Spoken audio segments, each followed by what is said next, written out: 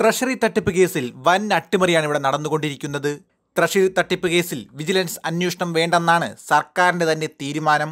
അതായത് തിരുവനന്തപുരം ട്രഷറി തട്ടിപ്പ് കേസിൽ വിജിലൻസ് അന്വേഷണം വേണ്ടെന്ന് സംസ്ഥാന സർക്കാർ നിലപാടെടുത്തിരിക്കുകയാണ്. വിജിലൻസ് അന്വേഷിക്കേണ്ടെന്ന ധനകാര്യമന്ത്രി തോമസ് ഐസക്കിന്റെ ശുപാർശ മുഖ്യമന്ത്രി അംഗീകരിച്ചിരിക്കുന്നു. നേരത്തെ കേസ് വിജിലൻസിന് കൈമാറണമെന്നായിരുന്നു പോലീസിന്റെ തന്നെ ശുപാർശ. എന്നാൽ ഇപ്പോൾ നടക്കുന്ന പോലീസ് അന്വേഷണം മദ്യത നിലപാടിലാണ് സർക്കാർ സോഫ്റ്റ്വെയറിലെ തകരാർ ഉൾപ്പെടെ ഉന്നതനങ്ങളിലേക്ക് നീങ്ങാൻ സാധ്യതയുള്ളത് കൊണ്ടാണ് അന്വേഷണം അട്ടിമറിച്ചതെന്നാണ് ആരോപണങ്ങൾ ഇപ്പോൾ ഉയരുന്നത്. എന്നാൽ ട്രഷറി തട്ടിപ്പ് കേസിൽ പോലീസ് കുറ്റപത്രം കൊടുക്കാത്തതിനാൽ പ്രതിക്ക് ജാമ്യവും ലഭിച്ചിരിക്കുന്നു.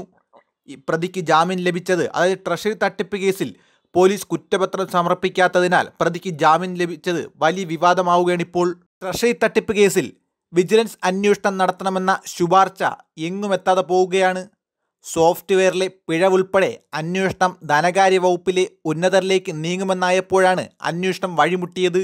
ട്രഷറിയിൽ നിന്നും ഒരു ഉദ്യോഗസ്ഥൻ രണ്ട് പോയിന്റ് ഏഴ് മൂന്ന് കോടി രൂപയുടെ തട്ടിപ്പ് നടത്തിയ കേസിൽ തൊണ്ണൂറ് ദിവസം കഴിഞ്ഞിട്ടും കുറ്റപത്രം നൽകാതെയാണ് പോലീസ് ഇപ്പോൾ നടക്കുന്നത്.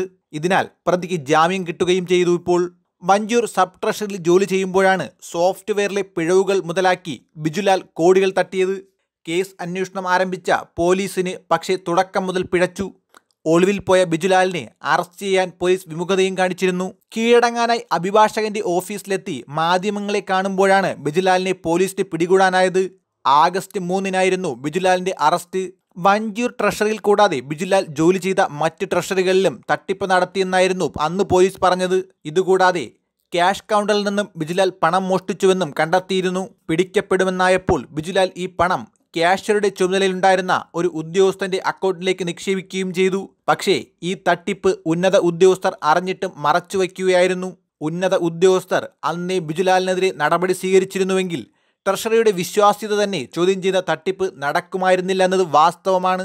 എന്നാൽ ഉദ്യോഗസ്ഥർ തന്നെ ബിജുലാലിന് കൊടപിടിച്ചു എന്നതാണ് നമുക്ക് മനസ്സിലാക്കാൻ കഴിയുന്ന ഒരു പ്രധാന കാര്യം. ഇതൊക്കെ കൂടാതെ ട്രഷറിക്ക് വേണ്ടി മാത്രം തയ്യാറാക്കിയ സോഫ്റ്റ്വെയറിലും പിഴവുകൾ ധാരാളമാണ്. അന്വേഷണത്തിനിടെ ഈ പിഴവുകൾ പുറത്തു വന്നിരുന്നു. ഇതോടെ അന്വേഷണത്തിന്റെ വേഗം കുറഞ്ഞു എന്നതാണ് നമുക്ക് മനസ്സിലാക്കാൻ കഴിയുന്നത്. സോഫ്റ്റ്വെയറിലെ പിഴവുകൾ ഉൾപ്പെടെ അന്വേഷണം ഉന്നതരിലേക്ക് നീങ്ങുമെന്നായതിനാൽ വിജിലൻസ് അന്വേഷണത്തിന് സർക്കാർ ഇതുവരെ അനുമതി നൽകിയിട്ടില്ല എന്നതാണ് വാസ്തവം. ഇതിനിടെ മജിസ്ട്രേറ്റ് കോടതി ഒരു പ്രാവശ്യം സെക്ഷൻസ് കോടതി രണ്ട് പ്രാവശ്യവും ബിജുലാലിന്റെ ജാമ്യം നിഷേധിച്ചിരുന്നു. തൊണ്ണൂറ് ദിവസം കഴിഞ്ഞിട്ടും കുറ്റപത്രം നൽകാത്തതിനാൽ ബിജുലാലിന് സ്വാഭാവിക ജാമ്യം ലഭിച്ചിരിക്കുകയാണ് ഇപ്പോൾ. തട്ടിപ്പ് കേസിൽ പിടികൂടിയപ്പോൾ ബിജുലാലിനെ ജോലിയിൽ നിന്നും പിരിച്ചുവിട്ടതല്ലാതെ മറ്റ് നടപടികളൊന്നും ഇതേവരെ ഉണ്ടായിട്ടില്ല എന്നത് ഏറെ ശ്രദ്ധേയമാണ്.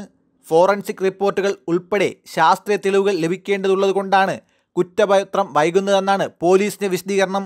എന്നാൽ സർക്കാർ ബിജുലാലിന് കൂട്ടുനിൽക്കുന്നതാണ് നമുക്കിവിടെ മനസ്സിലാക്കാൻ കഴിയുന്നത്. നേരത്തെ തന്നെ പല ആരോപണങ്ങൾ ഉയർന്നിരുന്നു. ബിജുലാൽ സി ഐ ടിയുടെ ഉന്നത യൂണിയൻ നേതാവാണെന്നും മറ്റുമൊക്കെയുള്ള കാര്യങ്ങൾ. News desk Tatwamayi news.